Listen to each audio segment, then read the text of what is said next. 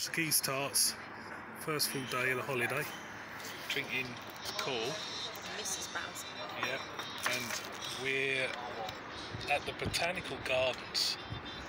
Um, high above Funchal. I don't know if you can see out here. This is how high we are. That's Funchal. There we go.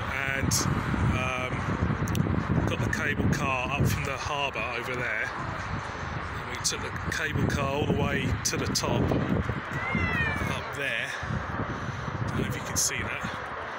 And we've got another cable car which took us down to the botanical gardens, which is here. And um, yeah, it's a fantastic day so far. Really warm. Um, really warm. I must be early 30s, I would say. Um, must admit, boys and girls, English in a minority. Got the German invasion in Madeira. And um, yeah, it's lovely.